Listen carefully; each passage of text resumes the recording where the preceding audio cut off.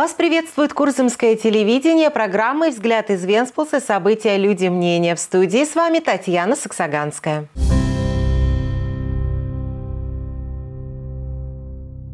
Лозунг туристической сферы «Добро пожаловать назад», потому что в последние годы эта отрасль пережила большие перемены и прошла серьезную проверку во всем мире. Андрис Валерс, который с весны этого года начал работать в сфере туристического маркетинга, ситуацию комментирует так. «Этим летом будем работать с тем, что есть, а проекты будем писать осенью. Именно осенью начнется новый период планирования привлечения средств европейских фондов».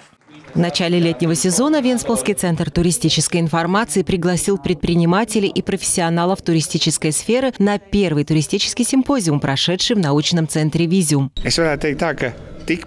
Такой позитивный симпозиум я не посещал давно. Со стороны участников панельных дискуссий все время поступали предложения. Они говорили, у нас есть деньги, дайте нам проекты. Мы будем делать то и то. Это первый симпозиум, но он будет ежегодным, так что будет и второй. Обещаю, будут участники из Брюсселя, Лондона, из Штральзунда, потому что для нас важно получить экспорт туризма. Конечно, хорошо, когда к нам приезжает рижанин и тратит нас деньги, но еще лучше, когда немцы приезжают. Приглашенные специалисты знакомились с возможностями привлечения финансирования европейских фондов, как начать проект, как инвестировать его в оборотные средства. Мой друг вращается в брюссельских коридорах. Он говорит, Латвия, вы не должны просить деньги, они вам полагаются. Выделение средств уже утверждено, а у нас вообще ничего нет. Все время только говорят о стратегии, долгосрочности. Я говорю, а когда же будет? И мы поняли, что в этом году денег на туризм не будет, ну а в следующем году? Когда? Представители Латвийского агентства инвестиций и развития, Северокурзамской ассоциации бизнеса, Алтум отвечали на реальные вопросы. И первым был вопрос о том, как получить деньги, чтобы начать новый проект.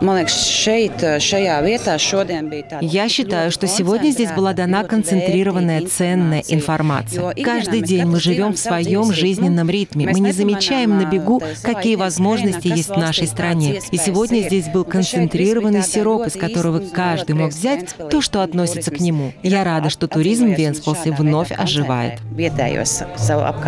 К новому периоду планирования, который будет длиться до 2027 года, стоит готовиться заранее. Предпринимателям надо пересмотреть свои идеи, соизмеряя их с возможностями. С банками сложно. У них свои правила, залоги, проценты по ликвидации. С ними трудно работать. Поэтому здесь эксперты по европейскому финансированию, которое можно получить в подарок. Новый руководитель туристического центра Венспилса видит перспективы в кластерах. Veidojās reģionāli klasteri, tematiskie reģionālie. Ko tas nozīmē? Когда создаются тематические региональные кластеры, что это означает? Есть умные люди в сфере туризма, например, их пять человек. Они собирают самое малое 25 туристических предприятий и пытаются вместе на европейские деньги привлечь 20 немецких групп, 20 голландских, 20 шведских, и получается комплексный продукт. Я считаю, что от кластеров будет польза. Мы много стараемся делать в одиночку. Надо объединяться и работать вместе. Да, люди должны конкурировать идеями, но если ты не обмениваешься идеями, то ты сидишь и думаешь, я такой хороший, а пока ты так думаешь, другой прошел мимо тебя. Твоих ошибок не узнал, не учел, и развития нет. Хоккеисты нам доказали, что вместе мы можем многого достичь. Тем, кто хочет подобрать соответствующую программу поддержки для своего туристического продукта, эксперты советуют не брать в долг большие суммы и гореть своей идеей. Только тогда удастся реализовать задуманное, а в обратном случае результата не будет. Самое дорогое – это время. Если ты занимаешься чем-то нереальным и не знаешь, что это нереально, то ты теряешь время, теряешь все. Поэтому важно показать, какие вещи в туризме реальны. В туризме что хорошо? Ты можешь 5 месяцев работать и заработать достаточно, чтобы потом 7 месяцев отдыхать и самому путешествовать. Можно реализовать проект за 10 тысяч, имея 200 евро на счету. Ну а чтобы реализовать проект за миллион, надо иметь 100 тысяч. Можно заложить конечно, свой дом, но никогда этого не делайте. В последние годы Алтум часто отказывает присваивать финансирование на строительство кафе и гостиниц, а в одном проценте случаев приходится судиться, чтобы получить средства, вложенные неудачно. Сейчас хорошо дела идут у сельского туризма. Ковид научил нас выходить из дома. Сейчас, может, меньше возвращаются, стараются что-то новое посмотреть, какие-то новые приключения ищут. Сейчас меняются привычки. Предпринимателям надо следить. Если что-то стало уже не уникальным, то придумать что-то новое. Кто-то дом подвешивает на дерево, кто-то создает оригинальный объект рядом, каждый ищет свою нишу.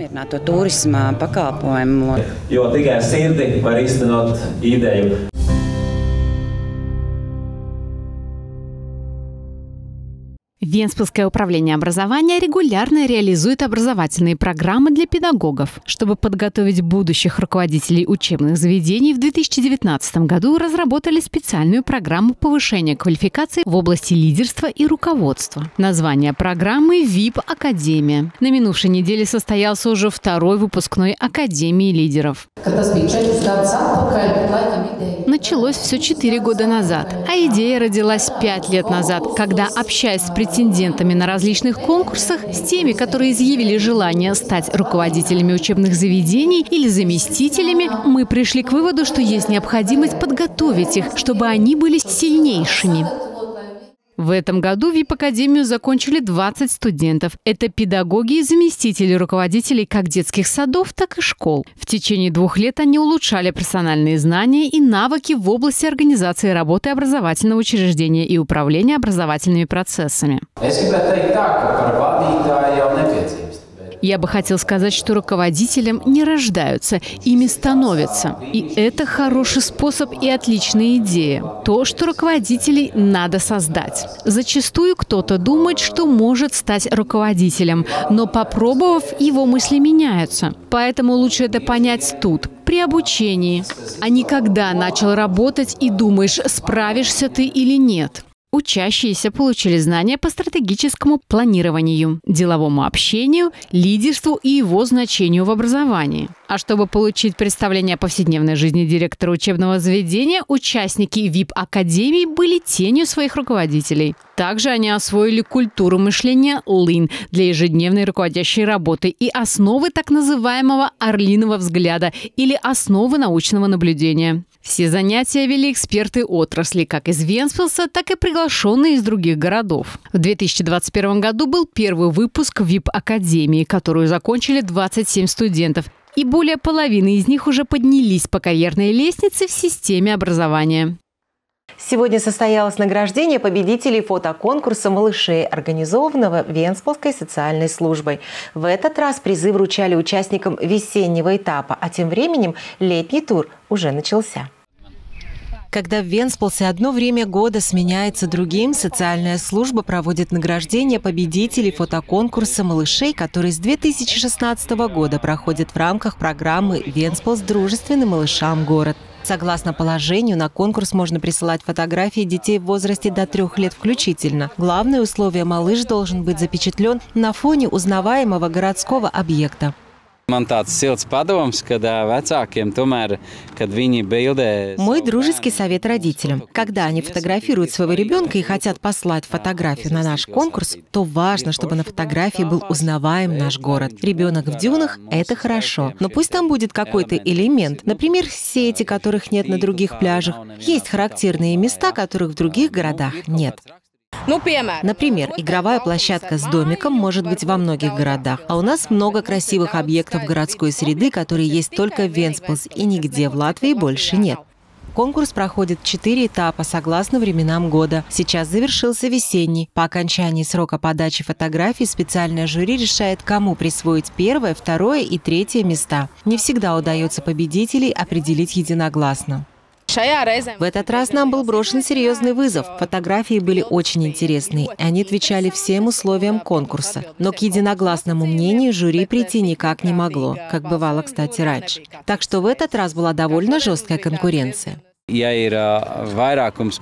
Когда большинство голосует за первое, второе или третье место, то побеждает демократия. В этот раз среди трех победителей я голосовал только за ту, что заняла первое место. Мнения очень отличались. Я из тех, кто больше смотрит на то, чтобы фотография имела рекламный характер, чтобы она не несла только художественную ценность, чтобы не был только красивый ребенок на красивом фоне, а чтобы она в каком-то смысле была репрезентацией города.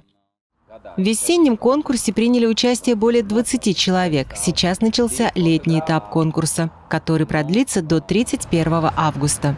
Мы приглашаем участвовать не только жителей Венспилса, но и тех, кто гостит у нас в городе. Присылайте фотографии своих детей, несмотря на то, что вы были в Венспилсе всего лишь в гостях. В этот раз на награждение смог прийти только обладатель первого места, известный в городе фотограф Рейнерс Болшевиц со своей трехлетней дочкой Миланией. В этом конкурсе Рейнерс принял участие впервые. В каждом времени года есть что-то свое. У нас началось так. Сначала мы на доске ездили по комнате, а потом решили выйти на улицу. Ведь чем старше дети, тем больше возможностей, чем заняться. А сейчас лето только началось, и думаю, что мы еще раз используем эту возможность. И осенью тоже. Даже если не для конкурса, то хотя бы для личного архива. Дети так стремительно растут, а потом так приятно оглянуться назад. Определенно еще поучаствуем. В качестве приза обладатели первых трех мест получают на память фотографию в рамке, букет цветов, подарочную карту на посещение аквапарка и денежный приз. За третье место 50 евро, за второе 70, за первое 100.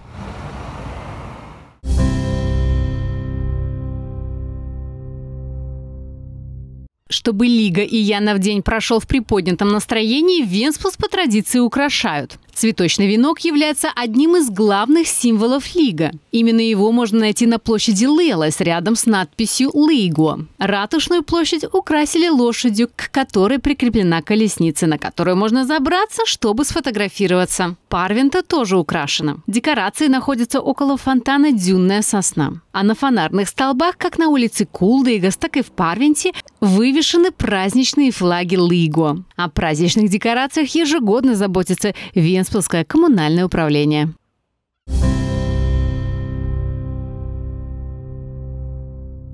Это все события на сегодня. Я с вами прощаюсь. До новых встреч.